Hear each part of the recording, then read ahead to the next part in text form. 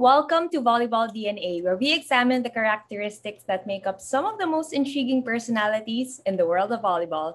I'm Denise Lazaro. And I'm Anton Rojas. The subject for this episode can be considered as a breakthrough discovery in Philippine sports. From the moment she was identified as a potential game changer, her talent was honed and showed astounding growth until she evolved into a volleyball giant. She stands tall and makes us all mighty proud wherever she goes in the world and makes her mark as our country's champion. From the Cherry Tigo crossovers in the Philippines and the Saitama Ageo Medics in Japan, we have our very own Jaja Santiago.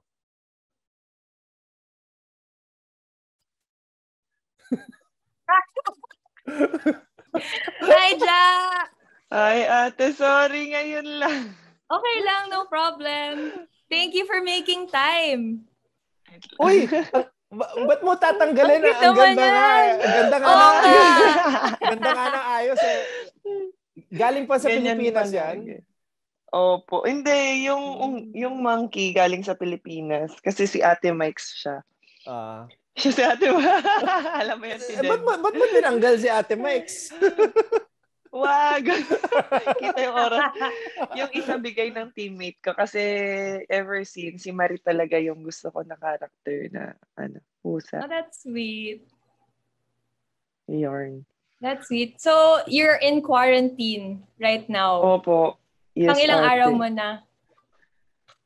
September 1. Ewan ko kung counted yung pagpunta ko dito. Feeling ko fifth day ko pa lang ate. Oh, wow. A long way to go. Yes. Two weeks. Gusto ko nang lumabas. Tawag dito, sabi ko nga may vaccine na ako. Dapat di na ako, uh, di na ako nasa quarantine. Char. O Oh, guys, ah, nasa, nasa Japan na si Jaja. Nakikita niyo yung clock sa likod. One hour ahead sila. So, we're making this interview happen. Tanggalin ko ba? Tanggalin ko ba yung orasan ko? hindi, hindi. Dapat nga yung ano mo eh, yung dolls mo, hindi mo tinanggal eh. Oo nga. It's so cute Wag. kaya. we're we're glad to uh, to see you safe there, Ja. Nakarating ka Thank ng you, maayos ate. dyan. Ate talaga na. Ate din. Well, Ja, 2021 has been a huge year for you and we're only like what, in September. Parang blessings on blessings on blessings ka nitong 2021. I mean, first Filipino volleyball player to win a championship overseas. You were offered a Japanese citizenship and you're building your dream house. And neto lang, nag-champion kayo sa PVL. And you won Oh. like what, two MVP awards. It doesn't get any better than that. Or it does, you know, kasi hindi pa tapos ang 2021. So, ilan lang yan sa mga blessings na dumating sa'yo this year. And ngayon na naka-quarantine ka sa Japan, nakapag-reflect ka na ba sa lahat ng good things na nangyari sa'yo this past months? Um, actually, ate, ano, um, hindi lang naman ngayong na-quarantine ako nakapag-reflect. Hindi lang ito yung time ko para mag-reflect. Actually, every day, um, nagre-reflect ako dun sa mga blessings nangyayari sa life ko and yun nga, sa family ko, syempre. Syempre, every single blessing um, na natatanggap ko from God, uh, I am more thankful and grateful um, as soon as yung, alam mo yung pagising ng umaga, ganyan, nagpapasalamat na kagad ako na, alam mo yun, syempre, nakabangon ka, nakagising ka, may another day, another opportunity ka na haharapin, ganyan. Tapos another, kumbaga, another blessing na naman from God and sa lahat ng blessing na nare-receive ko, uh, lahat ng yon syempre hindi naman lahat, lahat naman ng blessing natin, lahat na nakukuha natin, hindi naman madali. Um, lahat naman pinaghihirapan natin. And um, I think that's the way God is making um, us realize na with all the hardship na nararanasan natin, um, nandyan siya to protect us and syempre i-guide tayo. Um, parang same with ano, same with kung ano yung pinag ano yung hinaharap natin ngayon dito sa mundo. Kumbaga, ito yung parang ito yung way ni God siguro na tinatap niya tayo na um, we should uh, we should uh, keep our faith and everything parang will work according to His will, parang ganun. So, ayun po. By the way, guys, ah, si Jaja nga pala, I just want to say, is the first player dito sa Volleyball DNA na nakapag-guest na ng dalawang beses. Yeah. Totoo. that is the first. Oo. Naalala mo dyan nung nag-guest ka nung, yung unang guesting mo dito, kakabalik mo lang from Japan to the Philippines. Ngayon naman baliktad.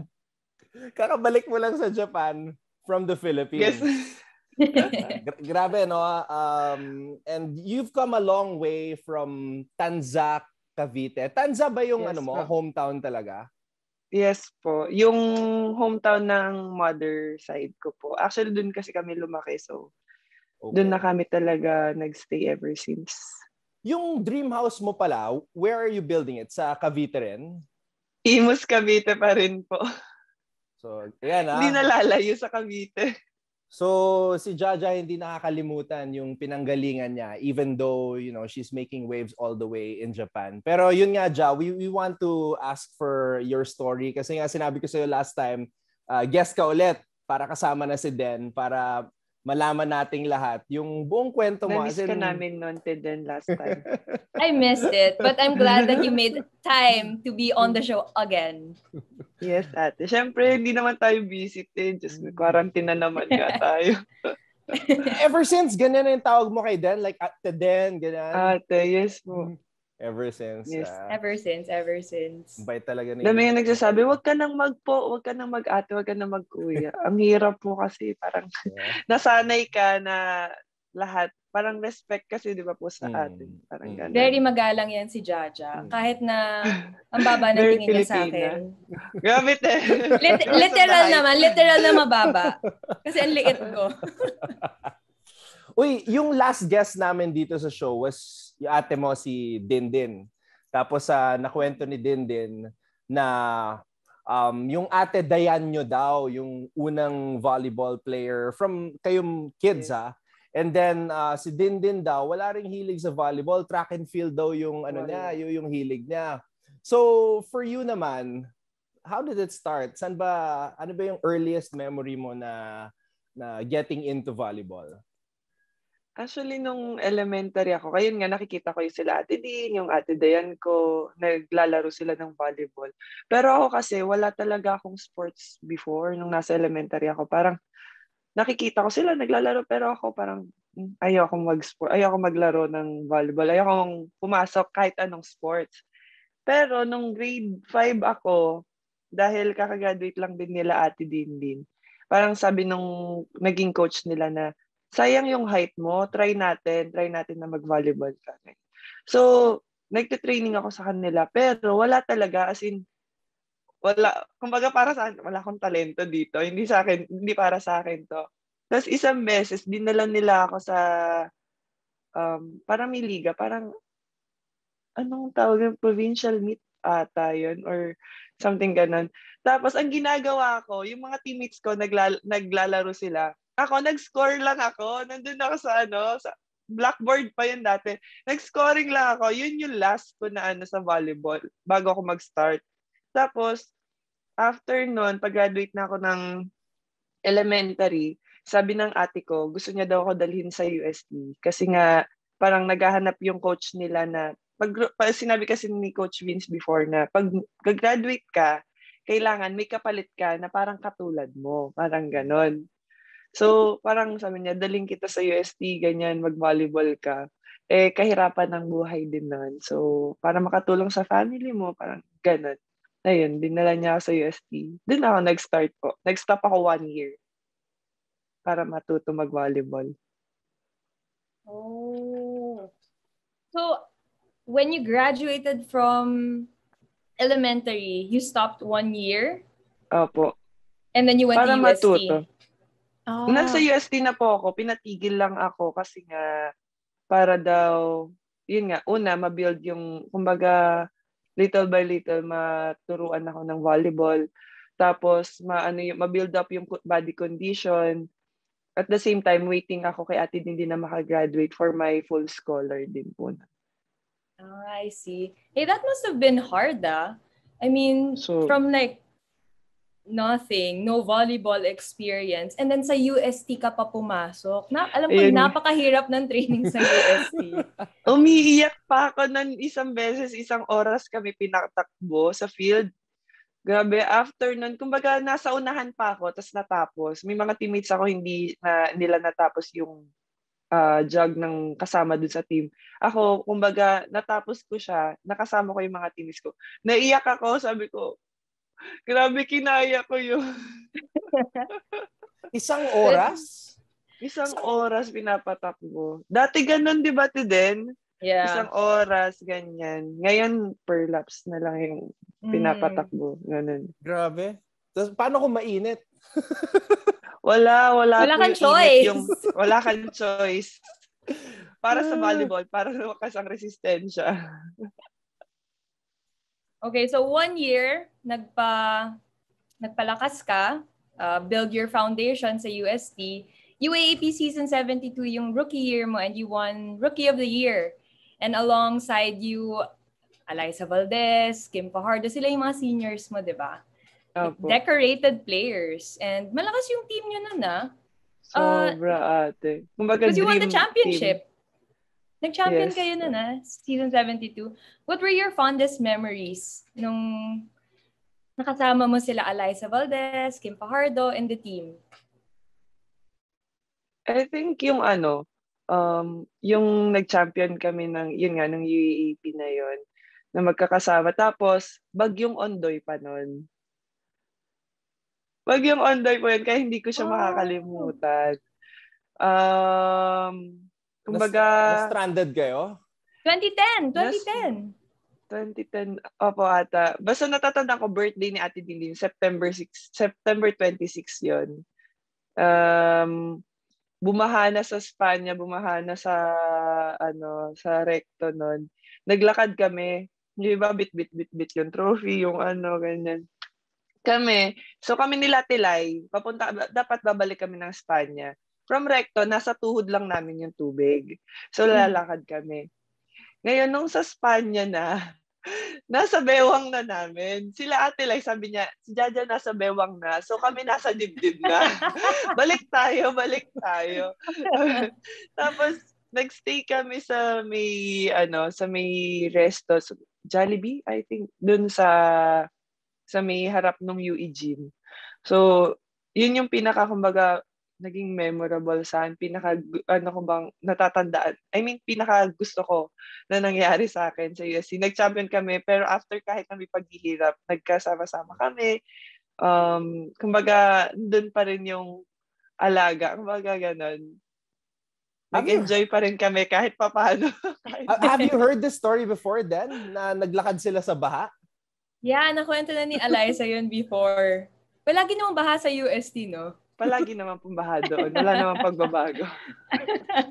Grabe. Umuwi kami ga, ano, uh, gamit yung yung plywood tapos merong gulong sa ilalim. Ah. Tapos may mga tao lang na nagtutulak. Nagtutulak tapos yung mga paa nila gawagan sa ilalim. Wow, ganun kalalim yung baha. Ganun, opo. Wow. Naalala ko, nakikita ko lang yung mga pictures eh. As in, baha talaga. Mm-mm. Pat pati sa Taft actually sa Lasal. So, wow, grabe. That that must have been uh, quite quite an experience ano. Um si din din naman na nakwento niya na yun nga nung lumipat siya sa NU, it was a very emotional decision for so, her. Uh, tapos nat natawa pa nga siya kasi nag-resurface yung interview niya kasama si Mosey na umiiyak siya. Tapos kasi kailangan kailangan niya daw gawin 'yon, ganyan ganyan. Tapos binitbit ka daw niya sa NU. So nakapaglaro ka ng UAP High School sa UST and sa NU. Opo. So kung kay din din mahirap yung adjustment, for you naman, what was the story for you yung pag-adjust mo leaving UST tapos nakapaglaro ka pa sa NU in high school? I think yung adjustment ko is, kasi nung lumipat ako sa NU, wala na wala pa silang volleyball high school noon. Kumbaga mm. nagbi-build pa lang sila. Mm. So nagte-training kami parang ako si Jorel lang tsaka si Joey. Iba po. Basta hindi na siya naglalaro ngayon. So tatlo lang kami. Parang sa akin from team na naglalaro ako ganyan um tapos biglang nagtatlo parang anong mangyayari sa akin? Parang dapat pala nagstay na lang ako sa UST. Tapos kumbaga tinuloy ko yung gusto gusto ko talaga ituloy yung ano yung paglalaro sa UST before mm-hmm. kaso talaga parang hindi ko alam kung siguro destiny na rin na hindi siguro hindi talaga ako para sa UST before pero umiiyak talaga ako kay Ate Dindin na Ate Din ayoko talagang umalis ayoko talaga kasi kumbaga doon na ako nagsimula doon na ako natuto tapos aalis ako parang ganon parang syempre um, ano ko rin kila Coach Kung Fu, kila Sir Vince na tinuruan nila ako, tapos aalis ako, parang ganun. And syempre, parang pangarap ko na makasama sila Tilay hanggang, well, graduate na rin naman sila Tilay. Kumbaga kung saan ako nagsimula, doon ako, doon din ako matatapos. Pero, ganun talaga ang buhay, parang hindi naman lahat talaga, kumbaga, everything can be changed, di ba? So, uh, pinakamahirap sa akin na iwan talaga yung mga teammates ko doon and yung coaching staff na nagturo sa akin. And then, tawag dito, talaga, kasi nung time na nun, hirap ng buhay. talaga talaga na hirap ng buhay. Full scholar ako pero may other, ano kasi ako eh, other fees na kailangan bayaran. So, hindi talaga siya kaya ng family ko and wala talaga kaming kaya, kumaga wala kami talagang kayang pagkunan. So tinulungan kami ng NU na na mabayaran 'yon. And then, yun, doon ako nag-start na lumipat sa NU and kasama si Ate Din din. Pero sobrang nakakamiss yung mga memories doon sa UST kasi syempre hindi natin alam kung kung natapos ako sa UST, ano kaya pa si Jaja sa parang ganun yung idea. Parang ano ka kaya ako ngayon? Si Dindin nga, sabi niya Grand Slam daw kayo every, every ano eh. Kung, kung nag-stay daw kayong lahat sa UST, Grand Slam daw lagi. For sure. daming nag ano, daming nagsasabi palagi, dream team talaga yung sa hmm. UST before. Mga what ifs. Imagine, Mga Din what Din, ifs, yes. Din Din, Jaja, Kim, Eliza. Ate Lai. Wow. Maru. Ate Maru, yes. Imagine if that core was intact until college. Mm-mm. That would have been something. But, you know, life has, you know, something else in store for us. Yes. And Andito tayo Ganun ngayon. well, I want to ask Ja, kasi you and Dindin were NU's, I think, yung first big recruit for the volleyball program. Um, and recruiting you, syempre may, may goal sila na umangat yung volleyball program for National University. Did you feel the pressure para iangat yung level of the NU team? Um, I think hindi naman po, hindi ganun ka-pressure. Siguro si Ate Bean. Mm. Kasi siya yung nasa college na noon. Ako nasa high school pa. So, hindi ko ramdam yung pressure kasi parang happy-go-lucky lang. parang ganon. Mm-mm. Parang wala lang, laro pa. Hindi pa ganon din ka. Kumbaga, unlike ngayon na passionate ka talaga, love na love mo yung ginagawa mo, ganon. So, I think sa akin, hindi ganon ka-pressure. Kasi wala pa naman akong team din na na lalaruan. I mean, wala, hindi pa nabubuo yung team namin that time. Pero eager ako na matuto pa ng volleyball. Gusto ko everyday mag-training, makasama yung college team, ganyan. And nandun pa rin, nandun yung goal ko na siguro in time, um, makakatulong ako dito sa team na to. Parang ganun. Alright, eto na, Ja. Pag-usapan natin yung pag-angat mo sa collegiate level, UAAP Season 76. Ito as a commentator, just reading the stories and watching you guys play, naabutan mo pa si Din Din eh. Yun yung huling taon niya, di ba? Marami ang nagsabi na it would be NU and LaSalle in the finals that year. Tapos may may storyline pa na, 'di ba, magkaibigan si Abby Maranyo at si Dindin. At din, So sila yung maglalaban, gusto nila sila mag mag-meet sa finals. And then nung step ladder semifinals, biglang may Ateneo kayo nakalaban. So, ayan, si Yung ba yung tries to beat, tries beaten kami? si Ate Den nakal Yeah. nakalaban nyo. So, ja, ano, ano yung naalala mo from from that series and did you also feel na parang baka na pressure din si Ate Dindin mo because of yung expectations ng tao na yun nga i-uplift yung NU tapos makalaban yung Lasal at i-challenge sila sa finals? Actually, hindi ko mo na masyado matanda. It's usually yung mga first year in the UAAP, hindi mo na matatandaan. First year pa lang kasi ako nun sa college. At, uh, wait lang. Yun ba yung tries to beat kami ate? Tapos tries beaten. Tama, di ba? Twice, oo. Two, Tries to beat ba? Two, two games dapat. Two games ah, two games. Um, I think ano, ang kulang kasi sa amin before yung yung experience na maglaro dun sa kumbaga dun sa level ng ano na yun. Kumbaga crucial yung mga ganon. Yung mga teammates mo, ako as a rookie, kumbaga kumbaga tawag natin, di ba, kabaduday pa tayo nun. Hindi natin alam kung anong gagawin natin. Kumbaga, sabi nga nila, painumin to ng gin to raid. Raid, para, ma- para matanggal ang nerbyo. Kasi, tingin ko, um, skills-wise naman, lahat okay. Um, yun nga lang talaga, um, dahil first time siguro din maka, ano ng NU noon, maka, uh, tungtong dun sa level na yon. So, kabado pa lahat. Um, kahit nandun yung instruction, kumbaga, hindi nila ma-execute ng maayos. Di namin ma-execute ng maayos kasi, kumbaga, natatakot, may takot kami na gawin yung dapat gawin namin kasi baka magkamali, baka ganto.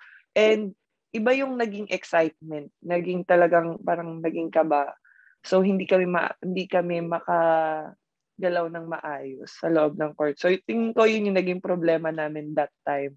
Kasi lahat kami nandun pa si Ate, Ate, Ate Myla, Ate Dindin, um, Ate Ivy, I think, or oh, Ate Ivy. So, malakas, malakas din yung ano namin nun, line up din namin nun. Na hanggang ngayon parang sinasabi ko, sayang din nun, na kasama ko si Ate Dindin, tas di rin kami nakapag, kumaga nakakuha ng championship or any medals dun, nung time na yun. Because like when you watch it, as an analyst or a volleyball enthusiast, kayo lang talaga yung halos head-to-head with Lasal eh. Matangkad kayo, Right. you have the Oo. people, yung skills, di ba? Mm. May Dindin ka, may Pablo ka, you have, they have you. So, kompleto kayo as a team. So, we were all expecting, even kami, we were all expecting na NU Lasal. And even during the elimination rounds, parang nagpa five sets kayo with Lasal and never panatalo yung Lasal in the LMs. That's why they were tries Mm-mm. to beat in the finals, di ba? Well, the following Tumataas year yung naman. balahibo. Naalala ko na ata. Naalala mo na. Naalala ko na. At saka, by, by the way, ah, yun yung best year ng NU sa Elims ha? Kasi 12-2 kayo nun, Ja eh. You never ulit Opo. nag never ulit nag like in in the past 10 11 years never nag 12-2 yung NU sa sa Elims. Y- yun yung pinaka best. Best finish in the LMs. No? Actually. Yeah. Because that was a really Kaso, strong yun- team. Yeah. That was a really strong team. Yun lang talaga. Minsan talaga pag naglalaro ka, yung pinakakalaban mo is yung sarili mo. 'Di ba? Pag kahit anong gusto mo manalo, minsan parang kahit niisip mo lang, tas di, pag gumagalaw ka na, minsan tight ka na, hindi ba? Sobrang Yeah. excitement, ganon. So, hindi ka na makagalaw. May isang naalala ko doon, parang, ewan ko, Ateneo nga ata yun, te. Kalaban namin kayo. Um, nasa back row si Ate Dindin. So, ewan ko, pumalo ako, nag, pa-over na yung, yung, ano, yung bola. Kumbaga, over dig. Pinalo ulit ni Ate Dindi. Ay, hindi, pumalo si Ate Dindi ng back row. Na over dig. Pinalo niya sa unahan. Tapos score namin. Hindi Oh! na ano ng referee. Oo, meron ng video sa YouTube po, meron. The following year, season 77, graduate na si Dindin and most of the hitters of NU like Myla. Um, pero title contender pa rin naman yung NU nito. Um, NU came short of reaching the finals kasi kalaban niyo yung Lasal sa semifinals nito. Um, I remember, I think you won game one. I think you you went three games nito. And then, yun nga, Ito, eventually, you lost the series, semifinal series against Lasal. Ah, okay. Uh, where do you think uh, nagkulang kayo sa series na to to reach the finals? Mm. An wait lang. Ang tagal na na to. Tagal na hindi ko maalala. second year ko. Second year ko sa NU. Second year ko po ito. Yes, Second second, year. year. Step ladder Hmm. semis yan eh. Oh, Twice, twice to beat yung Lasal. Natatandaan ko, hinag ko si Ate Kim noon after game eh. Mm. Ah, ano bang kulang namin noon? Oh my God.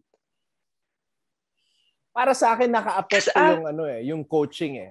Kasi 'di ba nag 'di ba si Coach Dong tapos ah, napalitan.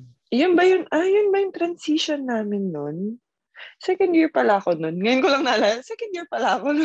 Ang dami mo kasi naging coach sa sa NU, 'di ba? Ja? Actually, 'Di ba si yeah. Coach si Coach Ah, hindi, si Coach year Dong, to. si Coach Roger, tapos si Coach Babes. Sabi, in the span of like nga, five no? years, ha? Ang dami rin eh. Ang hirap nun. Coach Vince, tas Ah. Coach Dong. Coach Dong, Edget. tas Coach. Si Coach Edget, ano siya, assistant lang po siya ever Assistant. since talaga. Ay, oh, Coach Dong, tas Coach Roger, Coach Rod. Ay, Coach Roger, two years, and then Coach Tingin ko yun yun. Yun yung, kumbaga, bumalik. Yun yung time na parang uh, balik rebuilding kami. Parang balik uh, bagong sistema na naman. Mhm. Coach Roger yon Tingin ko, buti pinaalala mo po sa akin yun. Yun pala yun yung time na nag-transition ulit kami na bago yung coaches, ganyan. Ay, bago yung head coach namin. Galing kami nun sa, kumbaga may isang training kami, isa, dalawang training ata kami na miss nun. Kasi, kumbaga, yun na yung time na mag-change na si Coach Dong, tsaka si Coach Roger. Hindi hindi kami umattend ng training. Lahat. And this was in the middle of kami. season. Yes. Wow. Opo, opo. Hindi kami umattend lahat kasi parang ayaw namin na, ayaw muna namin na magpalit ng coaches, ng coaching staff kasi nga ongoing pa yung UAAP noon. Hirap nun ah. Pero, mm sobra po. Kasi Daming, basta lahat kami din po umiyak nun. Alam namin na magiging maganda rin naman yung ano namin kay Coach Roger. Pero para sa amin, it was, it was a bad timing kasi yun nga, nasa gitna, kalagitnaan kami ng liga nun. So, I think nagkulang din sa amin nun is yung trust dun sa new system na binibigay ni Coach Roger. Kasi nga, bago lang, may takot, and parang, syempre, may mga pride din yung ibang mga players, syempre, na parang, um, hindi namin makuha, bakit ganito, bakit ganyan. Alam niyo. So, sa execution, siguro half-hearted na, alam mo yun, pumalo, ganito, ganyan. And the, I think, yung Lasal nun, ang lakas talaga naman kasi mag-block ng Lasal eh, tsaka yung defense nila. Ganda din. So, tingin ko yung laging kulang namin is yung kulang kami sa receive that time. And yung tapos, yung palo, kumbaga, lag, kumbaga hindi kami kagad naka-adjust na na kumbaga dahil matatangkad sila, parang ganun. Hindi kami naging kumbaga mas matalino dun sa lalagyan ng bola sa ngayon. Strategy, kumbaga.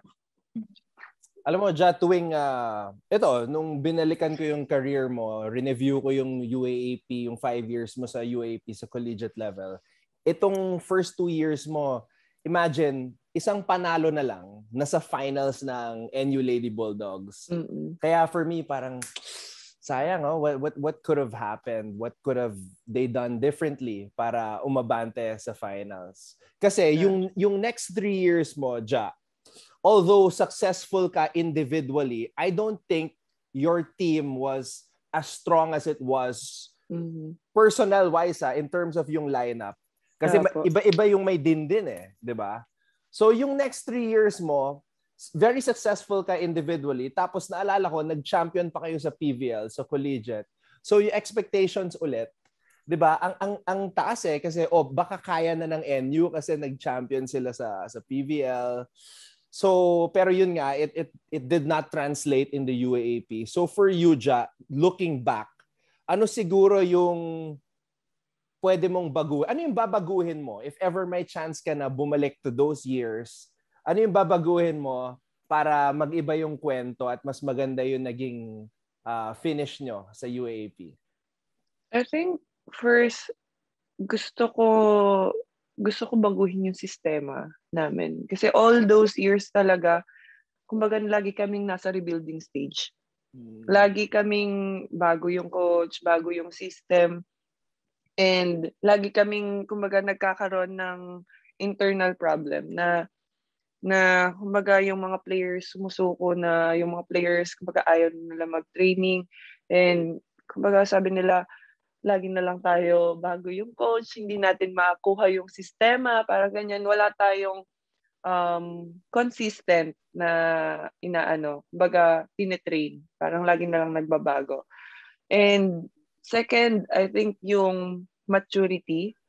Kasi kahit ako noon, kumbaga, ako yung captain, pero um, parang lagi ko, kunyari, kung ano yung sinasabi ng mga teammates ko inside and outside the court, parang lagi ko silang, um, lagi kong, uh, uh, ang tawag doon, yung parang nilalagay ko rin yung sarili ko sa kanila na, oo nga, no, bakit ganito? So maraming, maraming questions palagi na hindi naman na dapat. Dapat, parang sa akin nga, new system, sige, okay, kailangan ano tayo dito, uh, dapat makakope up kagad tayo, dapat ma-adapt kagad natin lahat, ganto ganyan. Um, dahil bata ka pa, parang ganun, parang lagi ka na lang merong complaints. So, hindi nagagawa ng maayos yung mga dapat maayos, ganyan. And laging, kumbaga lagi kang hesitant na gawin yung tinuturo sa'yo ng coach mo. And minsan parang bumabalik ka dun sa, hindi naman ganyan yung tinuro sa akin eh. Hindi naman ganyan. Parang ganun. And third, I think yung, yun nga, uh, pagiging leader sa loob ng court. Kasi um, kahit ako, sarili ko, kumbaga sa paglalaro, goal, kumbaga hindi ko na hindi ko naiisip na may mga kasama ako na kailangan tulungan ko din. Nagpe-perform ako na So, yun, nandun pa rin yung, kumbaga, o oh, may receive, ano, set, spike, ganyan. Pero, kulang, kumbaga, kumbaga kulang ako sa pagli-lead din sa team ko na dapat, um, kumbaga, kung ano yung na-experience ko ngayon, like sa Cherry, sa ano, kumbaga, yun yung mga gusto kong ibigay uh, before, na, na gusto kong, na, ano, well, yun yung gusto kong ibigay before na tingin ko kulang sa akin Yun. Wow. Well, you've matured so much, Ja. I mean, I remember you from high school, but you were just this this lo- long, tall, lanky girl. and now, like, glow up, mega glow up. And I think your Japan stint has, you know, done you so well. Yes, ate. Experience talaga yung, kumbaga, yung mga na-experience ko doon talaga ako natuto kahit sa paglalaro. Not only, hindi lang sa paglalaro. Kumbaga, in life din. Kasi yun nga parang after din, etong pandemic, sobrang daming realization talaga. Dami kong natutunan. Kasi kumbaga mag-isa na ako, mag-isa ako dito sa Japan. Kumbaga ako na lang yung isang magmo-motivate sa sarili ko. Ako rin yung kumbaga dapat ito. Kumbaga lahat ng desisyon nasa akin. So dami, dami talagang natutunan dito. Well, NU now has a very talented pool of players like Jen Yerva, Laxina, Solomon, Belen. Um, as one of the big names that came out of the NU program, what would be your advice sa current NU Lady Bulldogs? Um, I think yung advice ko lang sa kanila is keep moving forward, uh, keep the faith, and uh, keep working hard talaga. Kasi, syempre, um, in God's perfect time, doon natin makakamit yung kung ano yung talaga yung pinaka-goal natin, ano yung pinapangarap natin.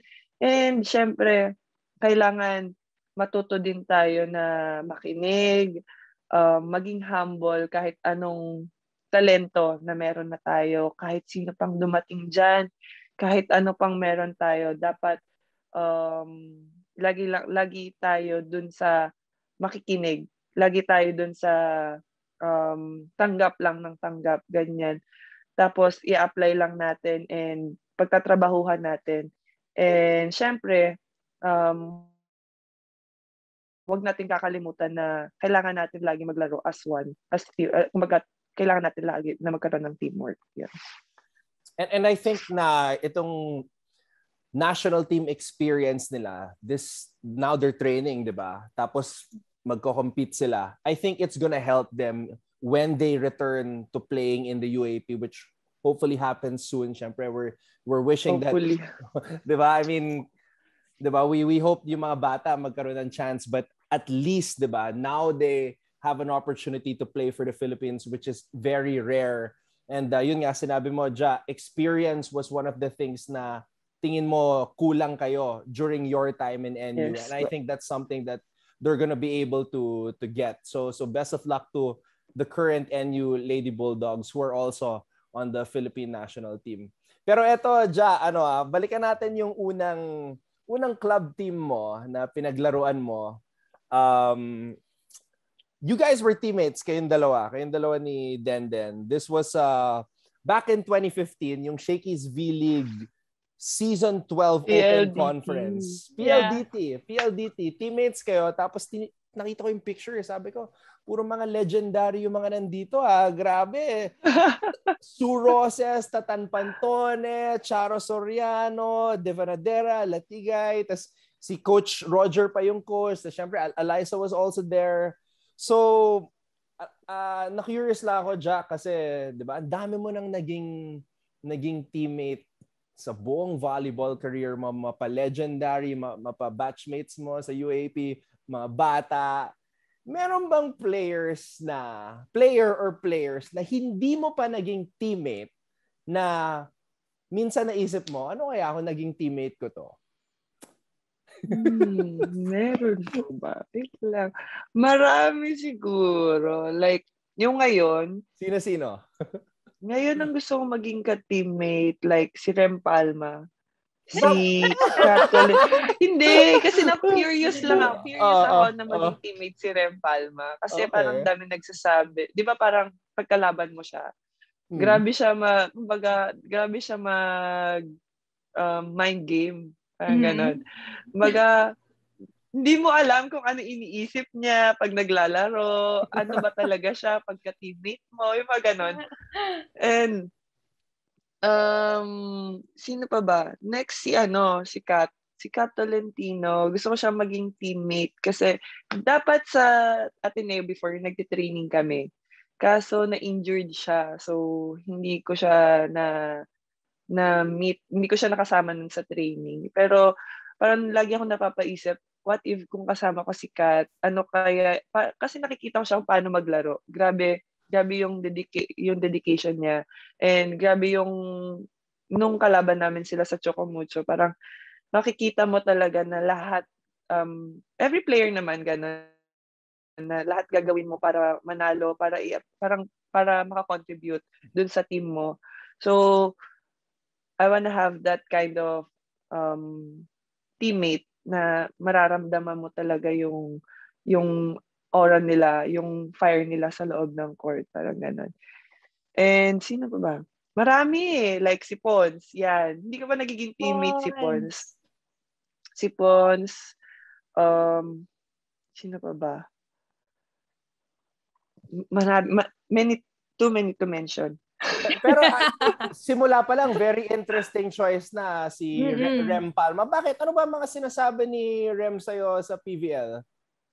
Actually, isang beses, um, isang beses lang naman kami ata nagtawa-tawa ng netong PVL. Yeah, once lang. Uh, once lang, di ba? once lang. Uh, magbablock ako. So, oh papa, nasa kanila yung bola. Tapos, hindi pa siya nakakapalo. Sabi niya, eto na! Sabi niya, eto na! sabi ko, eh, na-touch ko yung bola niya.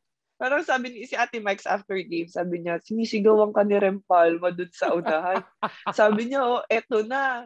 Tapos, eh, ano, na-touch na. Sabi ni Ate Mike, ano ka ngayon? Gumanon daw siya sa likod.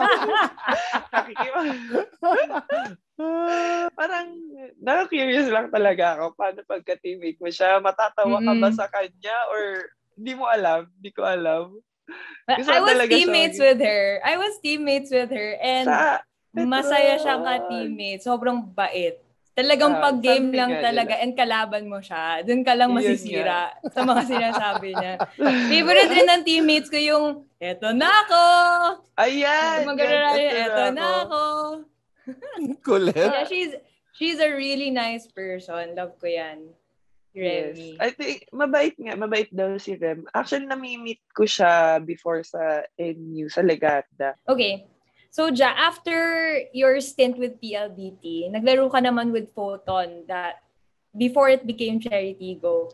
And then by the end of 2020, eto na. Ito yung pinakihintay natin eh. Kasi by the end of 2020, PVL turned professional, giving us, you know, a unified league. How important is it to be recognized as a professional athlete? I think it is very important as a professional athlete kasi kumbaga pride natin yun eh, as an athlete. And like other sports nga, iba yung, iba yung dating pag pro ka na. Yeah. And when you know that you're playing in competitive competition and also parang sa atin, first league yon And kumbaga, first league na professional. And then, kumbaga, unti-unti na na nag-uni kumbaga, na, nagiging unified. Tama po ba?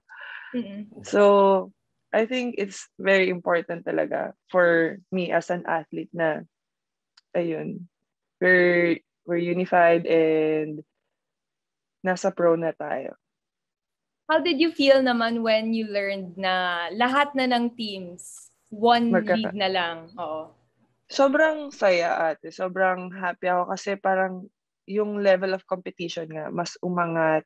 And yun nga, magkakasama na kami na dati hindi naman, hindi kami, nagkaka, hindi tayo nagkakaharap-harap. And kumaga hindi na siya nakakalito din na alam mo yun, dami masyadong, kahit yung manonood, yung mga supporters natin, iisa na lang yung pinapanooran nila. And nakikita mo talaga yung talento ng bawat players dun sa iisang liga na yun. Ayun.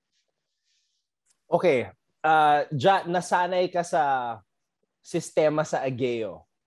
Sa Ageo Medics. Actually, this past uh, couple of years, mas marami ka pang games na nilaruan dyan sa Japan compared sa mga games compared. dito sa Pilipinas. So paano yung naging adjustment mo na, 'di ba? You go from Ageo na meron kang Shania Joseph and then babalik ka sa Pilipinas, ate din din naman yung kasama mo. So how was the adjustment for you going from Ageo to Cherry Tigo sa PVL? I think wala naman masyadong ano, wala naman masyadong adjustment. Hindi, joke lang. Meron palang adjustment. Sabi ka hindi wala, meron palang adjustment. Kasi from, kumbaga, um, hindi naman sana, pero kasi di ba para dito sa Japan, uh, they have the basics. They have the pass, defense. Grabe yung depensa nila dito, hindi bumabagsak. Kumbaga, bawal, bumagsak ang bola. Parang ganon. Um, hagis talaga yung katawan para makuha yung bola, mga ganon. And yung training nila is sobrang haba. Kumbaga, after training nun, kung gusto mo pa mag-extra, um, pwede ka pa mag-training, mag-extra ulit. Parang ganun. Uh, tapos, yun nga, kasa, yung may import pa kayo, ganyan. Well, nung pagbalik ko ng Pilipinas, ang adjustment ko is yung training namin na, yun nga, in a bubble setup, um, kumbaga, yung mga kasama mo, galing sa two years na walang, two years, one and, one and half year, ganun na walang volleyball. So, parang, ang hirap na parang kailangan uh, unti-untiin mo din sila, ganun. Pero yun dahil kasama ko rin si Ate Din din, hindi hindi siya naging hadlang yung mga tigil-tigil or sa kahit sa paglalaro kasi um, may kasama ako na na tinutulungan yung team namin para how do you say para matuto para kumbaga bumalik doon sa um, condition na meron sila. At the same time, sa training, ang daming, hindi na mas, ano, dami ring adjustment. Kasi, yun nga, katulad nga ng sabi ko, pag may gusto ako, kunyari, may specific um, skills ako na gustong i-work on, hindi ko siya ma-work on. Kasi nga, uh, limited yung court, limited yung time. Um, Tapos, syempre, hindi lang ikaw, kumbaga, pagod ka na. Sobrang init kasi sa atin. Minsan talagang dagdag pagod. So minsan parang gusto mag-extra. Di ka na maka-extra kasi parang bukas na. Sobrang pa- pagod talaga. Ganon. Eh dito parang kahit dito twice or thrice yung training mo, hindi ka masyadong napapagod kasi kumbaga malamig and hindi hindi siya yung hindi kasi siya yung kumbaga sama-sama lahat. Minsan sa morning, um, ito yung ano mo lang, sarili mong kulang. Kumbaga, kung kulang ka sa depensa, kulang ka sa blockings, o sige, dyan ka muna sa side na yan, work on mo dyan. Tapos, uh, dito sa side na to, um, merong mga two players, three players na, alam mo yun, connections or ganun. So, hindi siya yung talagang movement na lahat-lahat talaga. So, yun yung naging adjustment ko pagdating ko sa Pilipinas na okay, naging okay din naman kasi si coach um coach Aaron, naghanap talaga siya ng time para ma-work on namin yung skills na kulang kami and gusto naming uh, trabahuhin pa, parang ganun, i-improve pa. Um, because of the pandemic, uh, kakaiba yung naging setup ng PVL tournament natin. Uh, it was in a bubble setting and magkakasunod yung games ng mga teams sabi ko nga mas okay sa akin na mag-bubble training. Yung pag may mm-hmm. tournament, magbabubble. Kasi mas nakaka-focus. Totoo. Mas nakaka-focus ka na parang wala kang ibang gagawin. Wala kang ibang activities na gagawin. Wala kang, kumbaga, may stress, pero mas malayo ka dun sa possibilities na, alam mo yun, ma-injured or something na may gagawin ka na hindi ano sa paglalaro. Na ganun. That's true. That's diba? true. Training, okay. recover, training, ganon. Yun lang, volleyball is life. Literally, True. yun lang talaga gagawin mo. Oo, ate, grabe yung mga galawan mo. Bagets na bagets. Parang bumalik ka sa ano mo. Parang Ang hirap kasi. nagbago eh. Pero kasi Parang bagets yung mga kasama ko. Bagets yung mga kasama ko, kaya kailangan tumip Babagets ka talaga. Oo. Hindi, te. Ever since naman, ganyan ka naman. Hindi. Kahit tayo magkakasama. Hindi, iba ngayon. Pero Kasi baka nga rin kasi nag-bubble, nag-training bubble. Mas naging focus, yun. no? Oo. Mas nag-focus. Tsaka naka, naka-recover sa dating injuries, ganun. Totoo. rin. Sa bagay, diba? totoo. Yung dulo nga, di ba? diba, Everyday na tayo. Um, and kayo actually, you played seven games in seven days. And these aren't like ordinary games. These are like semis tsaka finals games. Like crucial games talaga. Oh, uh, so like, hats off to you guys that you won the championship given yung circumstances na yun. Um, I want to ask, how did you manage yung physical, mental, and emotional challenges during the tournament? I think, ano, ate, um, kumbaga, nagkaroon ako ng proper way na disiplinahin yung sarili ko. Like, sa pagkain, um, talagang, kumbaga, tinitingnan ko kung sapat ba yung protein na nakakain ko sa araw-araw. Nakainom ba ako ng protein, uh, whey protein ko?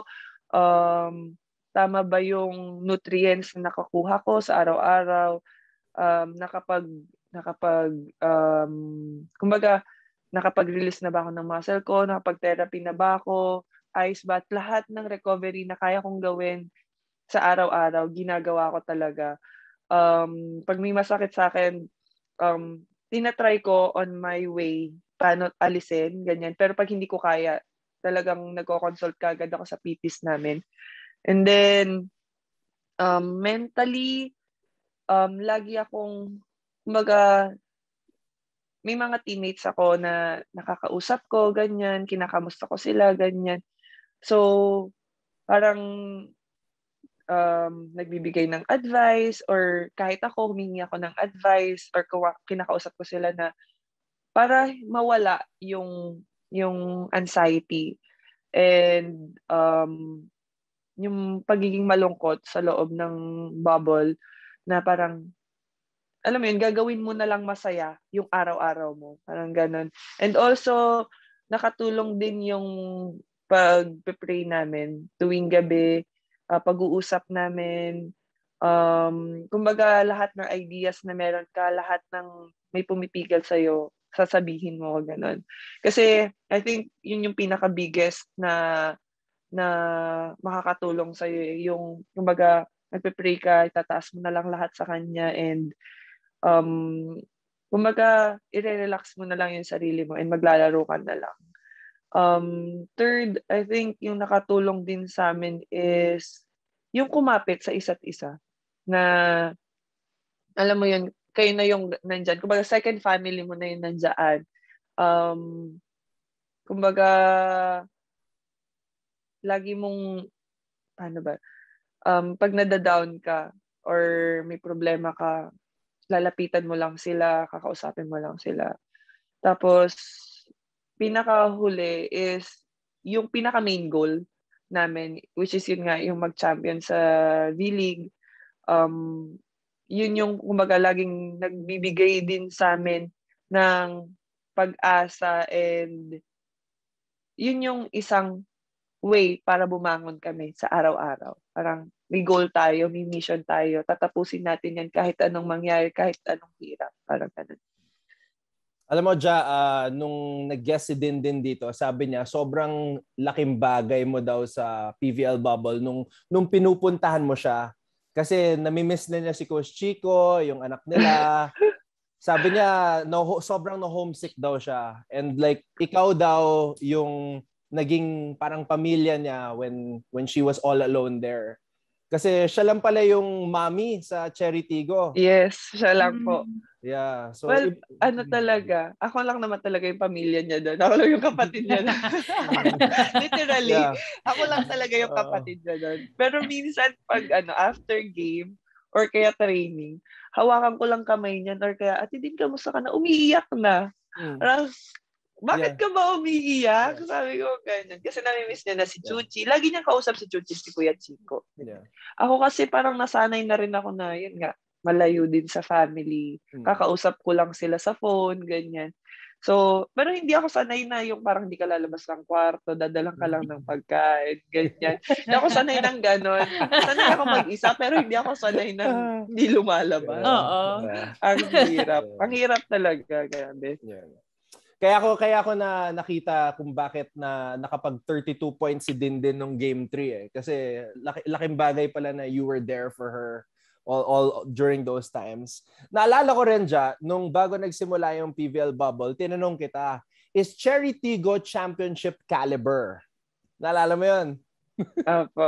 Tapos sinabi mo, yes, Cherry Tigo is championship caliber. And and you you stayed true to your word. Marami pang uncertainties doon. Tinanong kita kung maglalaro si Maika, di ba? Tapos sabi mo, uh, hindi, hindi pa sure kasi hindi baka pa hindi sure. pa siya recovered sa sa injury niya. Pero mm-hmm. naka-line up siya.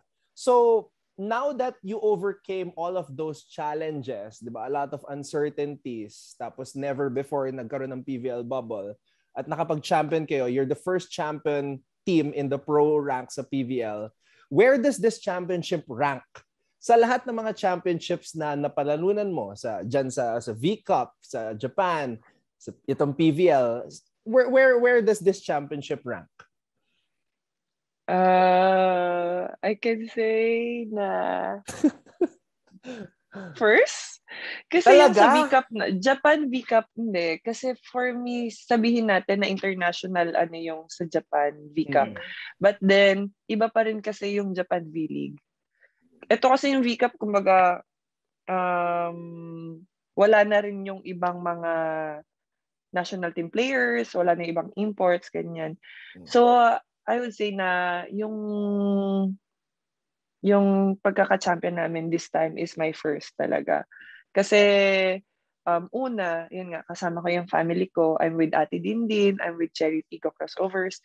Um, second, um, kumbaga, ito yung first pro league natin sa Pilipinas. And nag-champion kami. And all the hardships na pinagdaanan namin, kumbaga, nagbunga talaga. And lastly siguro, uh, ito, uh, ito yung All Filipino. All Filipino Conference, kumbaga. Walang import. Mm-mm. So, kumbaga, Pinoy pride talaga. Kasi nung nag-champion kami before sa other league, may mga may mga imports, may mga ano foreigners. So, parang lagi namin sinasabi na mag-champion naman tayo na puro Pinoy. Parang ganon. So, ayun, na- nag-champion kami this time and sa first uh, professional league pa. So, I can say na first talaga. First to. Kung irarank ko. Kaya lang, Ja, yung laro nyo ni Dindin, parang import na rin eh. Iba? Grabe. Grabe. Dalawa yung import ng charity. I, I swear, I swear talaga, nung championship, parang hindi na ako yung naglalaro. I swear, hindi kasi, Diyan na yung food ko. Go, go, go. Ayun. yeah, go. Hindi, go, yeah, go. okay lang po. eh. Kunin ko lang po sa pinto. Wait lang. sige, sige. Ayun. Go lang. Sorry. Ang, ang ganda ng sinabi ni Ja, parang hindi na siya yung naglalaro. Oo nga, eh, parang I wanna know why. I, I don't know if she meant that to be like a good thing na like parang sinapian na lang siya. Like super saiyan na ba? Hindi ate, totoo, promise. Parang hindi na ako naglalaro. Kahit si ate din. Kasi sabi ko nga sa yan tumatas yung balahibo ko. Kasi kumbaga ika-seventh game na namin that time na talagang walang pahinga. Yeah. Yung bago kasi mag-start yung championship nung finals nung game 3, hindi ko na talaga nararamdaman yung legs ko. As in pinapaano ko, pinapa-release ko na sa ano sa PTs namin yung legs ko, pinapa-teragan ko na.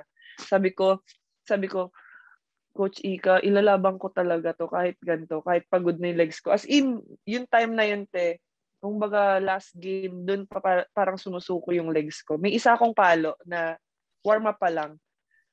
Pag landing ko, hindi ko naramdaman. Buti na lang bumaba ako. Yun na ano ko ba, na-absorb ko pa. Parang sabi ko, ah, grabe, nafe-feel ko yung pagod. Pero tinatry ko talagang alisin. Kaya nung ah, first set, second set, third set, parang wala natin. Wala na talaga ako maibuhos. Parang tina- tinitingnan ako ni Ate Dindin, ganyan. Tapos yung PT namin, sinasabi niya, kinakausap niya ako. Kaya nakapikit lang ako the whole time pag lumalabas ako na nire-relax, nire, nire-relax ko. Nag, talagang kinocompose ko yung sarili ko na balik ka dyan, kaya mo yan. Wag mong, wag mong isuko yung ano. Kumbaga, sabi sa akin ng PT namin, Ja, tingnan mo yung ate mo, lumalaban. Sabi niya sa akin, gumising ka. Sabi niya, tulungan mo yung ate mo. Sabi ko, coach, talagang ginagawa ko talaga yung best ko para ibalik yung ano, yung laro, yung laro ko, parang ganyan. Tapos ate, nung third set to fifth set, hindi ko na alam te kung paano ko kung paano ko na-gain ulit yung yung laro, yung condition ko parang wala nang sakit yung legs ko, hindi na pagod. Pero after naman, te, after um, mga two days, three days, grabe, doon ko na naramdaman lahat. Para ako magkakasakit, na ewan, ganyan. Lahat. Tapos niisip ko talaga, naglaro ba talaga kami noon? Kumbaga, ako ba yun? Grabe kasi te, lalo na nung fifth set. Kumbaga, nag, nag, nagpe-pray na lang talaga kami. Nagpe-pray ako na, um, Lord, ikaw na bahala talaga. Give me strength, give me ano, lahat. Tapos, parang nung fifth set, pagdating ko sa loob ng court, yung tindig ko, parang, eto na yun. Laban na to. Parang gano'n, hindi ko na alam, ano, yung mata ko, pinapanood ko sa TV, sabi ko, ganito na pala ako tumingin doon. ganito na pala ako sumigaw doon. Iba na, it's like Iba a whole other level of Jaja Santiago. Hindi na-unlock, na-unlock din. mo na yun. Na-unlock mo na yun dahil sa pagod. Totoo ate, dala na ng pagod. well, Ja, um, I wanna ask this question. Um, kasi tayo mga Pilipino, 'di ba, matagal matagal tayong nagte-training sa Japan for the national team, yung mga collegiate teams, dun tayo nagte-training to gain more skills and experience from them. Ma- mataas yung tingin natin sa mga Japanese players, yung program nila doon. Um, so, nung na-discover ka, nung mga Japanese teams, uh, nung agent mo, um, ano yung naramdaman mo? And how were you discovered? Mm, actually, sobrang, kumbaga hindi ako makapaniwala na na alam mo yun, may, may makaka-discover. I mean, in Thailand, yes. Pero sa Japan, parang totoo ba to? Um, gusto nila ako maglaro dito. Gusto nila akong maging part ng team nila. Kasi parang dati, syempre, pinapangarap ko maglaro ng international But then for me, uh, parang kulang pa. Parang hindi ko alam kung kakayanin ko, ganyan. And then parang yun nga, nung dumating yung agent ko, actually, um, nakita niya lang ako sa YouTube. Pinapanood niya ako sa YouTube. Yung games natin sa national team. And also, ay, hindi ko alam kung nakapunta siya sa Pilipinas eh. Nung FIVB, World Club Championships oh, yeah. natin po. Mm-hmm. Ayun. So, um, minessage niya ako. Takot din ako. Takot din ako mag-reply sa mga ganun before. Kasi hindi ko alam kung legit ba talaga sila or mm. hindi. Mm-hmm. So, tinry ko, minessage ko siya ganyan. Tapos, sabi niya na meron nga daw pong isang team dito sa Japan na gusto akong pag-try outin. Which is yun nga tong Ageo. So sabi ko, totoo kaya to. So, pero nagtiwa, parang sabi ko, sige, magtitiwala ako. Um, so ngayon, di legit nga. Pumunta pinapunta niya pinapunta niya ako dito pinapunta nila ako noong June 2017 2017 or I think 2017 ata. Tapos parang yun na nag-try out na ako ganto ganyan. Tapos nagkasakit pa ako. Every time na pupunta ako dito sa Japan lagi ako nagkakasakit before Di ko alam bakit. Baka may pumipigil. Pero yun nga, nag-try out ako. Sa, pinatigil nila ako ng one day. Sabi nila, sige, mag-rest ka muna. Pero ang ginawa ko no, nag-weights ako. nag-weights ako. Tapos, um, the next day, pinasama nila ako sa training. Sobrang parang, wow, nakaka-starstruck lahat. Kasi parang magte-training ka, lahat Japanese ka, kasama mo, tapos coach mo, Japanese, ganyan. Tapos, nakaka-intimidate lang kasi ang gagaling nila. Tapos parang ako sabi ko, kaya ko ba to? Alam mo yung meron ka ng meron ka na nung skills na yon, pero hindi mo mailabas kasi parang na-intimidate ka sa parang nagda-doubt ka na yeah. pasok ba to sa kanila? Parang ganun. Kasi yun nga, sabi ko nga, hindi ko naman nakalain na maglalaro talaga or magte-training ako kasama nila. So parang, wow, yun na talaga. Parang, ewan ko kung paano ako nadala mm. dito. Talaga. Ja, paano nila sinabi na tanggap ka na? Um, kumbaga nag-deliberate ata sila ng two, one night lang. One night, one night. Kasi alis na ako the next ah, day. Okay. Kasama yung agent ko. Sabi nila na, ayun nga, kukuhanin na daw po nila ako. And babalik ako after two months nun. Kasi miliga pa po tayo nun sa Pilipinas. Wow. So, so after two months. Personal nila sinabi sa'yo? Yes po. Wow. Nag-meeting kami the next day with the coaches and ano managers po nung nung team. Tapos yun, parang parang naman po, parang sinasabi nila formality lang yung tryout. Parang gano'n. Ah, Pero, okay. po. Kasi Galing. kaka-open lang din ng Asian sa kanila. Kumbaga, Asian import. Asian naman yung Japan. Ah. Pero, I mean, like Thailand, um, Philippines, yan, Vietnam, parang yun yung first na first time na mag-open sila. Galing. So ja, this is gonna be your fourth season na, no? Sa Ageo Medics. Fourth? Tumatanda na ako dito. hey, it's doing you so, it's doing you well. It's doing you well. Hindi kasi, oh, kasi pinag-aaralan ko yan eh. Like, uh, so there's a V-League and there's a V-Cup. Kasi iba pala yon, 'di ba? So so nakita ko first year mo sa V-League, seventh place, second year mo third place and then last time fifth place tapos nag-champion kayo sa V-Cup. So ito yung ito na yung unfinished business na sinasabi mo sa akin last time, Ja. Yes. Meron ka pang unfinished business diyan sa yes. Japan. So okay, yes. So, you've already experienced yung bronze sa V-League ano expectations ng Saitama Ageo Medics for the upcoming season 2021-2022? Are you guys gonna go for the gold this year? Um, for sure, yes. Um, Siyempre, yun naman talaga yung ini-aim ng team namin ever since yung gold talaga. Kasi feeling ko kasi last year, nagkulang kami because of the pandemic din. And kahit ako personally, alam ko na yung condition ko last uh, season is not that good talaga. Kumaga, patapos na yung second round or second round pa lang, dun bumalik yung body condition ko. And yun nga, si Shine hindi pa ganun din nag-gel dun sa team namin. And new system, new coach, new head coach din kami. So, I think this season will be better and I think makakukuha namin kung ano yung pinaka-goal namin which is yung championship. Si Shina pa ba yung fellow import mo dyan, Ja? Or iba na? Hindi na. Ah, hindi na. na. Ako, wala ka ng pizza body. Mm-hmm. Magkakaroon pa rin. Hahanap pa rin tayo. Yun naman laging goal ko sa... Actually, yun yung goal ko. Every, ano, every bago yung, ano, yung import dito. Kasi syempre, kumbaga ako na yung matagal na import na isa. So gusto ko yung dadating, hindi siya maging hindi siya mahirapan sa first day niya. Kasi grabe experience ko dito nung first day, nung first year ko. Iyak ako ng iyak, ayaw ko lumabas ng apartment. Kumbaga, hindi ko alam kung paano ko kakausapin yung ibang tao, yung ibang import, ganyan. Pero dahil, syempre, na matagal na rin ako dito, gusto ko, kumbaga, ayaw ko na ma-experience nila kung ano yung na-experience ko before. Well, international na, mas baka nga mas grabe pa yung yung yung experience nila sa akin. Pero gusto ko na magkaroon kagad sila ng isang family hmm. dito sa Japan. Parang ganun. That's so thoughtful. That's yeah. so sweet. Ja is such a caring person. Such a caring yes. person. Ito, e, ito, Jaja, ano, sinabi mo rin sa akin last time na yung Brazilian coach mo dyan, ano ulit pangalan na? Andres? Coach? Marquinhos Antonio Lebac. Lebac.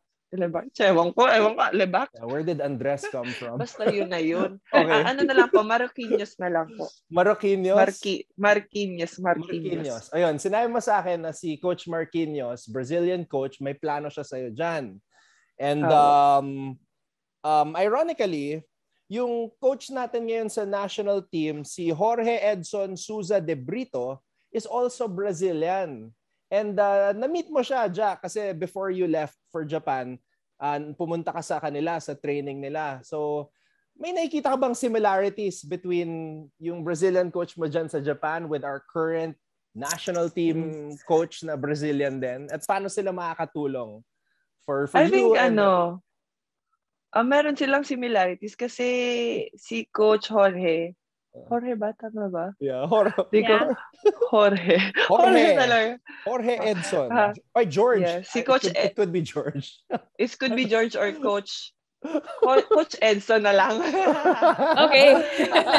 Mas madali yun, Coach Edson. Uh-huh. Um, siya, yung naging coach niya kasi, yung coach ko dito before.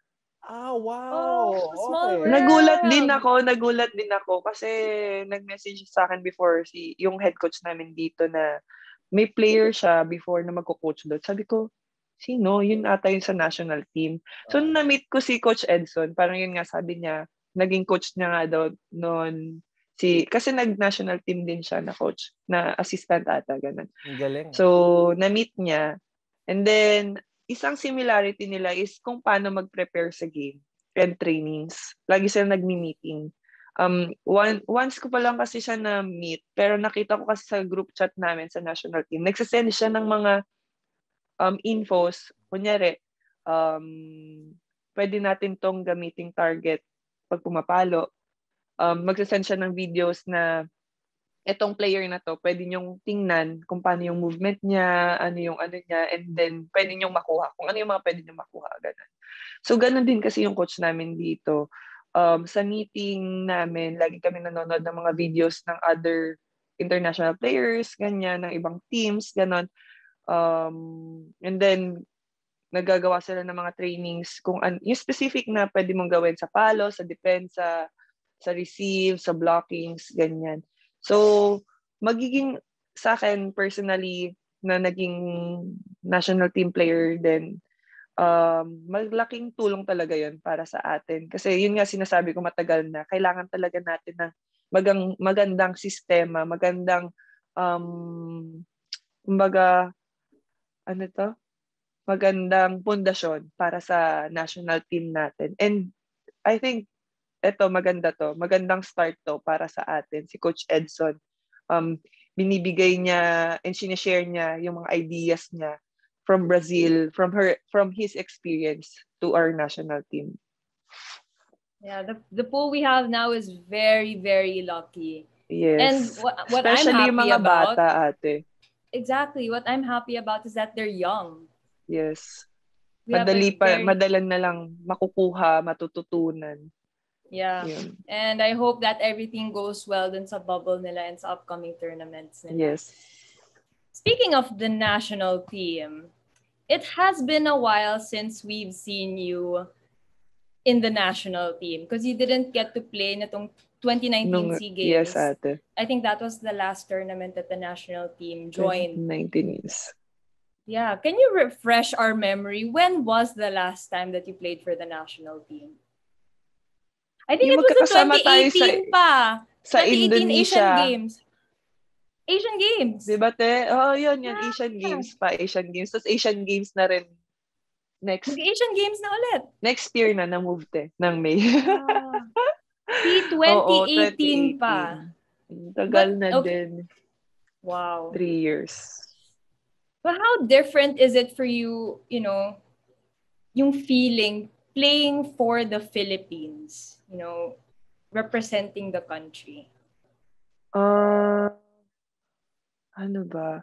I think, ano, ngayon, mas challenging, mas pressure because of my experience din siguro and ano yung pwede kong ma-share and mabigay para sa Philippine flag natin. And this time din kasi, kumbaga mga bata din yung makakasama natin.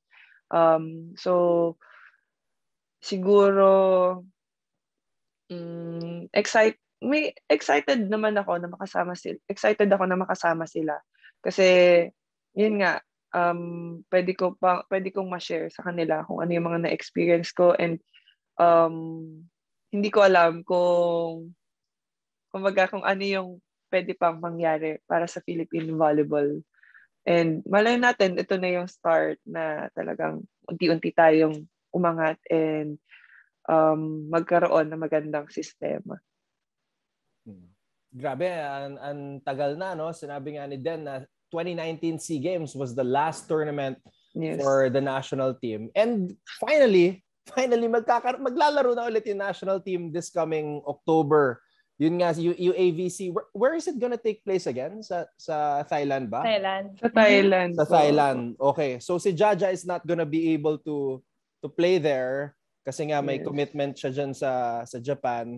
Pero conflict on, siya sa ano, conflict siya sa FIVB calendar. Kaya yung AVC na isa, Mm-mm. um, Next year, yun yung ba? pasok. Yes, yun Yun. sa May po yun. So yun doon po tayo makakalaro. Pero itong October, hindi pa.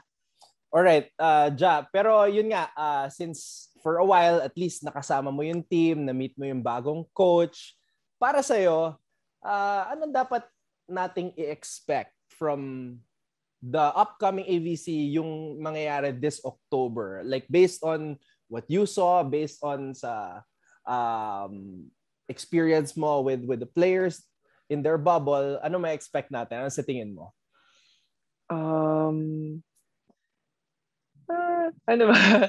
I think ano, uh, our national team will have their um, talagang good system like techniques, um, strategies sa paglalaro, um, more, kumbaga, siguro, tawag dito, kaya, kumbaga, makikipagsabayan talaga tayo. Um, even though, yun nga, galing tayo sa pandemic, galing tayo sa ano, pero dahil dun sa bubble training na kasama na yung mga coaches, yung mga experiencado nating coaches, um, I think they will have a good, ano talaga, good fight with the other um, international teams. And kaya nating makakuha ng ano eh, kaya nating makakuha ng place ngayong AVC sa Thailand. Kasi, uh, kumbaga, nandyan na lahat ng talentado nating players eh. And sabayan pa ng magandang sistema, magandang training. So, I'm praying for ano talaga, good result para sa national team. Pero syempre, healthy, healthy body mm. and ano, strong. Mm. No injuries. Okay, I have a question. Kasi sa national team lang kita nakita maglaro as a wing spiker. So you're really a middle blocker. Pero pagdating sa national team, nagwi-wing spiker ka. I think nung Asian Games, ginawa kang open hitter eh. Uh, Kaya ni Eliza yung magka-diagonal nun. Uh, uh. And in your past in the lab interview with Anton, na-mention mo na mahirap maging middle blocker. And eventually, gusto mo maging opposite hitter. Okay, enlighten us. Give us some insight on how difficult is it really to be a middle blocker? Kasi di ba pag middle blocker ka, di ba, ikaw yung huling aalis sa net. Kumbaga, ikaw hmm. kasi yung line of defense sa sa harap. At the uh, second, kailangan mo palaging gumalaw left to right, back and forth. Kahit walang bola, kailangan mong umatras, pumasok, umatras, pumasok. Tapos, um, kumbaga, para sa akin, pag walang receive, hindi ka hmm. naman din makakapalo. Parang ganon. So, for me, mas better na maging opposite or hmm. open kasi parang hirap din mag-open kasi hindi naman ako, ate, hindi ako madepensa, hindi naman din ako ma-receive. So, saan tayo lulugar? so, sabi ko, opposite na lang. Kasi pwede ka naman dumipensa, pero hindi naman palagi nadidepensa ka, di ba? Unlike pag open ka or libero, ganyan. Um, so pag opposite ka, pwede ka pa rin parang maging middle. Lahat ng mm. tempo pwede mong gawin.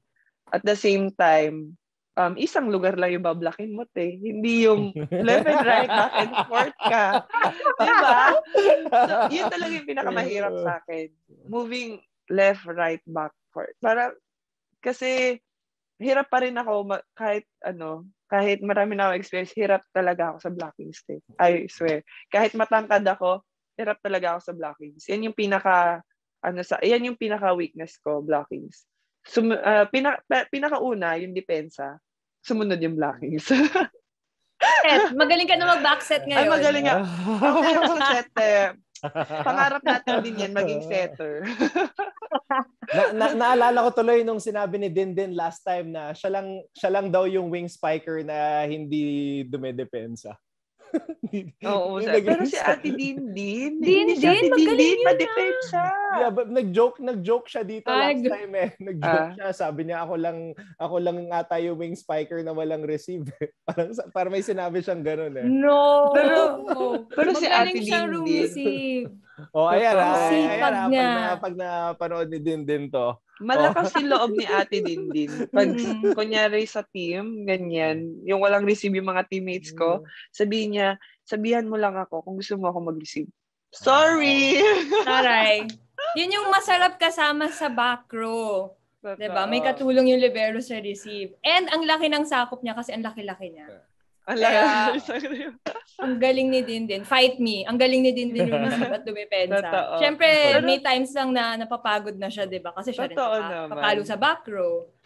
Pero ate, Ayan. nakakatawa dito, nung V-League, yung recent ating laro, di ba, re-receive siya. Mm. Ngayon, sabi niya, ah, sige, Buding, tulong tayo, ganyan. Sabihin ni Buding, ate, ikaw ang second libero ko dito, ha? Ganyan, ganyan. so, ngayon, receive na, receive. Oh. Eh, tumalsik. Tumalsik. Sabi natin din, Buding, ikaw muna. sige, Buding, ikaw na, tulungan mo muna. Tulong Oh. lang. Tulong-tulong lang. eh, ito, may, may, may question ako for Den in relation to yung, yung place sa PVL. Kasi yung, based on my observation as a watching, pag, pag nasa front line si Jaja, tapos maganda yung pasa ni Buding kay Jasmine, eh magdasal ka na. Kasi Yes. for sure kay Jaja pupunta yung bola. So for you then, what what goes through your mind pag nakita mong maganda yung pasa ni perfect pass yung kay Buding tapos alam mong isa-set na ni Jabor ni Nabor kay ah, kay Ja. Well, what goes through your mind pag ganun yung sitwasyon? Alam ko, ate din. Puputuhin Ah, ko Ja. lang to. I will try my best na kunin siya. Di ko, kasi ngayon, pulidong-pulido na yung spiking ni Jaja eh. So, hindi mo na alam kung yung approach niya, ititip na lang ba niya, ilo-long ball niya, tatarget niya yung ends, or ididiin niya. Bihirang-bihira na lang siyang dumiin ng palo ngayon. Dati, bibirahin lang niya eh. Ngayon, may Palo placement shots na palo. siya. May tips na siya. So, parang ako, basta tama na lang yung pwesto ko. Pag pumunta sa akin, bahala na. Pag, ma- pag mamukaan ako, ganun talaga. Pero kailangan ko maangat yung bola ni Jaja. Ate din, nung kalaban namin kayo sa na ano, neto, sobrang kung mapapansin mo, sobrang doubtful ako sa lahat ng ga- galaw ko, sa la- sa, sa mga Ah. palo ko. Totoo. Pero totoo nga nung ano natin, nung game 1 natin, tsaka game 2, sabi ko sa'yo, takot talaga ako. Natakot ako pumalo. Kasi, kumbaga, ang tatangkad ng blockers. Sumunod, an antibay ng depensa nyo, te. Te, kung saan ko lagay yung bola, nandun ka eh. Kumbaga, ang ganda. Promise, sabi ko nga, te, sobrang doubtful ako sa sarili ko noon na sinasabi sa ng coach ko na maglaro ka lang, huwag kang mag-isip ng kung ano-ano, maglaro ka lang. Sabi ko sa isip-isip ko, ang hirap naman pumalo. Pagpapalo ako, tatlong, anim, apat na kamay, ang tatangkad. Sabi ko, saan ko tinta? Tapos pag, pag pinalo mo, dinipe, eh, pag pinalo mo, tinip mo, nandun pa si ate din. Di ko na alam. Trabaho lang tayo. Trabaho lang tayo. Ako pa rin to. Ikaw pa rin yan. Ah, ikaw ba yan? Ako lang talaga. Ako pa rin to. Nakakainis. Sabi ko nga sa'yo, ti din. Grabe. Grabe yung depensa. Grabe yung I think laro siya. mo ngayon. Grabe, te. Ikaw rin naman, Ja. Pero ikaw pa rin. Thank you Ikaw din, pa rin. MVP. MVP. Thank you. Pero MVP. grabe. So happy for you. Thank you, So happy ate. for you. Ang galing. Uh, I, I I just love that exchange between the two of you guys. Parang uh, na na-enjoy ko ulit yung yung matchup nyo nung nung semis. Grabe. So, Ja, grabe, nakwento mo rin sa amin yung buong buhay mo. Uh, we we'd like to say thank you for the time. Pero syempre, we're also wishing you all the best. Sana mag-champion ka. Sana mag-champion yung Ageo Medics sa sa V-League. Pero eto nga. Thank you din po. Yeah, we're we're we're gonna be praying for that, Ja. ha? We're gonna be praying for that. So, ito nga. Sabihin nating for our last question, sabihin nating uh, natapos mo na yung unfinished business mo dyan. Let's say mag-champion kayo. O di you brought honor and glory again to the Philippines. Uh, you you made your Brazilian coach happy kasi yun nga may mga plano siya for you. Ano next? Wha- wha- What's the next blessing for for Jaja Santiago? Kasi nga sinabi mo goal mo mag-Olympics. Um, what do you think is gonna happen? Well, what is the next?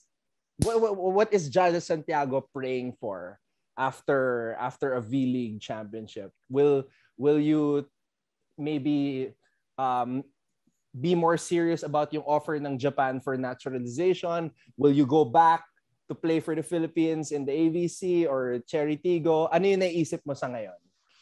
Um, for now, kasi tinitake ko lahat um, step by, by step by step. Kasi, um, kumaga one, one day at a time. Uh, kasi, ang hirap na kumbaga, i-visualize mo lahat ng mangyari para sa future mo. But then, syempre, meron ka pa rin namang mga ah, plano. Pero ayun nga, at tingin ko uh, once na makuha ko yung unfinished business ko dito sa Japan, um, hopefully malaman ko yung pros and cons ko if ever na mag-change ako ng citizenship. Um, makapag sana makapag-decide ako agad kung, ma- kung mag-stay nga ako para sa citizenship or yun nga maglalaro ko for national team. Nandun pa rin kasi yung goal ko for national team. Syempre, gusto ko pa rin maglaro and magbigay ng honor sa country natin. And um, if ever na hindi talaga para sa akin yung pagpapalit ng citizenship, um, gusto ko na eto na yung last time ko to play here in Japan. Siguro next time or ano pag may opportunity ulit. But then if ever na may opportunity ko ako sa ibang country like yun nga Europe or China or something na kung saan man meron ako, uh, hopefully makapaglaro and yun nga, magkaroon ako ng experience dun sa mga countries na yun. Big, big things ahead of you, Ja. And we wish you all the best. And I hope that you get, you know, proper guidance and support from the people yes. around you, your family, your friends, Ate Mike's, Ate Mike. Ate Mike. Show show the monkey. You gotta show the monkey. Ate Mike. Ate Mike. we wish you all the best, Ja. Thank you so much for, you know, gracing our our show here again for the second time. And we hope to see you again real soon.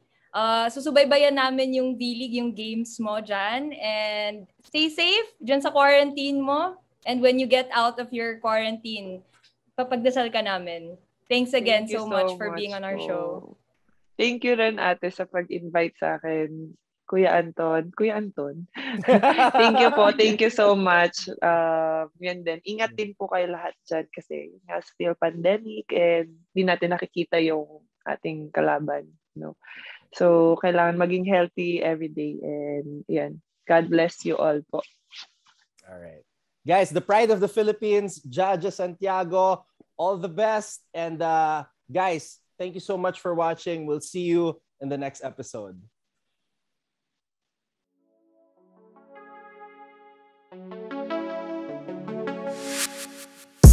Thank you for watching Volleyball DNA. Make sure you hit the subscribe button to get notified for future episodes and interview highlights. And while you're at it, head over to our Facebook page by clicking on the link in the description.